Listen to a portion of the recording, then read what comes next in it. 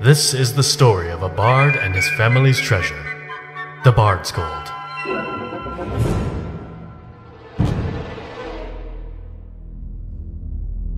For generations, it's been the bard's duty to keep an evil spirit sealed within the treasure. With the seal weakening, his father had to fight this spirit in order to keep him sealed. He remembered the stories he told him on his deathbed. He must recover the bard's gold before it is too late.